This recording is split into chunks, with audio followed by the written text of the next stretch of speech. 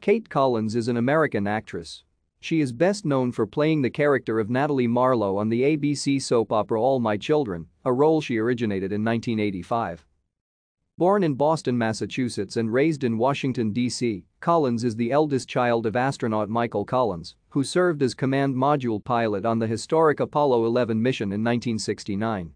She graduated from National Cathedral School studied theater at Northwestern University and graduated in 1981. After college, she worked in a number of regional theater groups and appeared in the off-Broadway productions of The Danube, Blood Moon and Clarissa. In 1990, she starred in the soap opera spoof theatrical play Quiet on the Set. She married Charles Newell, who is the artistic director of the Court Theater in Chicago, in October 1992. They have two sons and live in Hyde Park, Chicago.